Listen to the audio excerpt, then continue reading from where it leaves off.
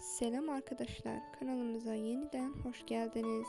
Öncelikle kanalımıza abone olmayı ve yeni videolar için bildirim butonuna tıklamayı unutmayın arkadaşlar.